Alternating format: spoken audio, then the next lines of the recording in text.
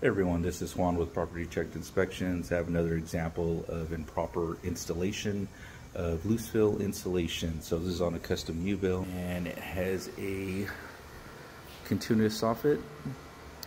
And in continuous soffits, um, you're supposed to have baffles in between each rafter in the attic um, for the proper ventilation. And in this one, uh, the builder or their sub came in and just threw in a few just for show. That one's not having seated all the way down right. But going all the way around, maybe have 10 or so, definitely not enough.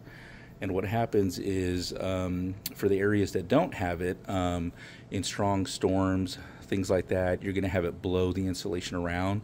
So either it's going to taper off more and kind of push away, so you're going to get areas that are uninsulated at the edges of the rooms.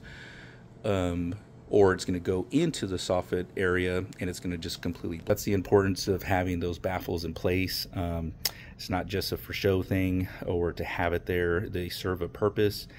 And if you're going to have continuous soffits, you have to have it go all the way around.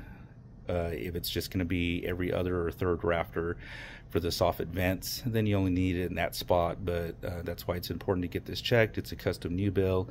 you know the new buyer is expecting it to be built right and they go through their energy audits and they go through their city inspections and all that and yet we still have it in these conditions where it's not done correctly so make sure to get that property checked have a good one